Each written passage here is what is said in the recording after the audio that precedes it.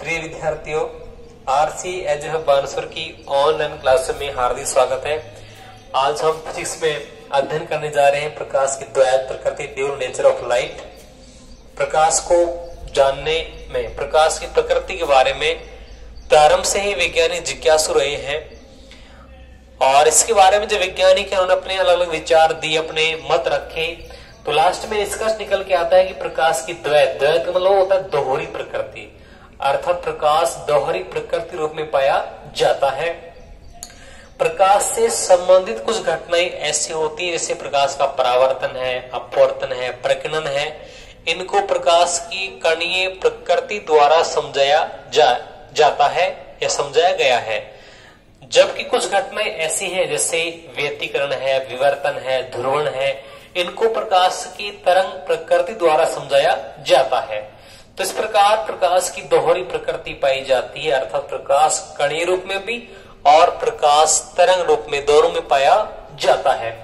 तो प्रकाश की प्रकृति को समझाने के लिए सबसे पहले सन 1660 सन 1660 ईस्वी के अंदर न्यूटन नामक वैज्ञानिक ने 1660 ईस्वी के अंदर अपने विचार रखे।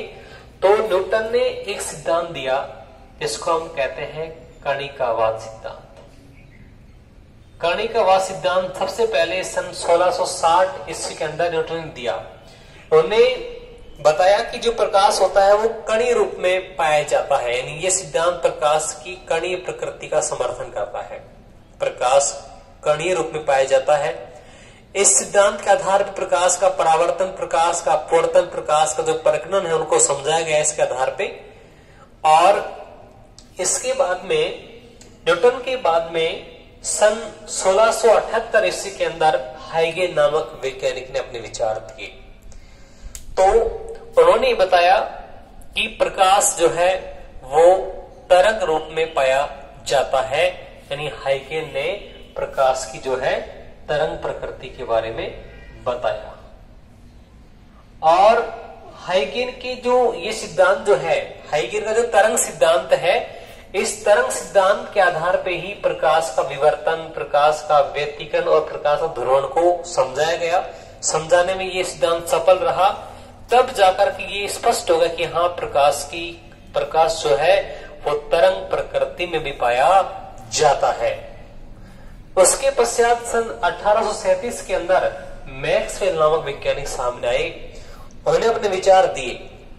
तो अठारह ईस्वी के अंदर मैक्सवेल ने विचार दिए।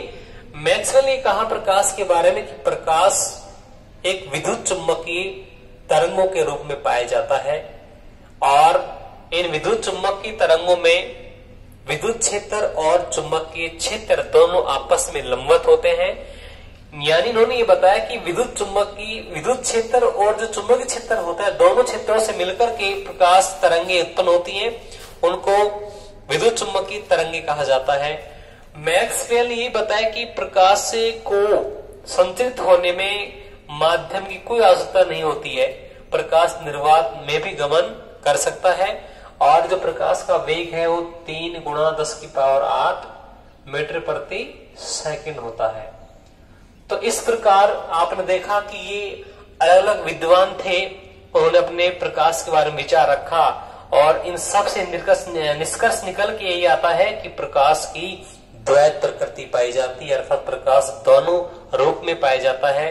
प्रकाश कणी और तरंग दोनों रूप में व्यवहार करता है। तो हम इसमें आज इतना ही। बाकी नेक्स्ट वीडियो अध्ययन करेंगे। Thank you